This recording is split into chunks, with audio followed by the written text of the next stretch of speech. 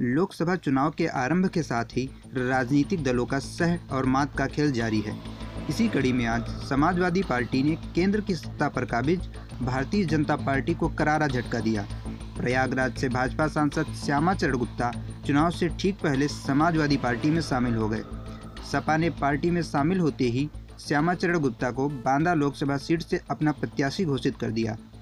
आपको बता दें कि 2014 के लोकसभा चुनाव में भाजपा के टिकट पर श्यामाचरण गुप्ता ने समाजवादी पार्टी के प्रत्याशी को ही मात दी थी। श्यामाचरण ने सपा के रेवती रमन सिंह को पचास हज़ार से भी अधिक मतों से चुनाव हराया था, लेकिन इस बार ऐसी अटकलें लगाई जा रही थी कि बीजेपी हाईकमान श्यामाचरण गुप्ता का टिकट काट सकती है। इसी खतरे को भाप कर श्यामाचरण ने चुनाव से ठीक पहले भाजपा को छोड़कर समाजवादी पार्टी का दामन थाम लिया।